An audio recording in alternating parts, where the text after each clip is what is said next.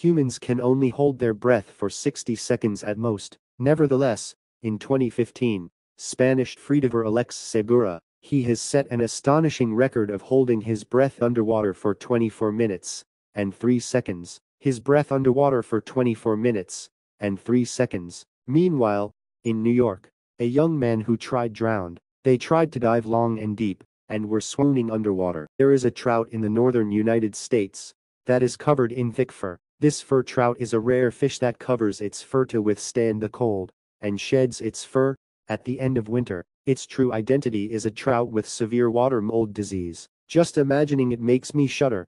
It is said that there is a monster called Kappa in Japan. Although there are many reports of actual sightings, they have never been captured. The identity of such a Kappa is a human drowned corpse. Therefore, in order to keep children away from places where there are many water accidents, such as the corpses being lifted up, I acted as a yokai. Kappa is said to have been created. What are they called in other countries?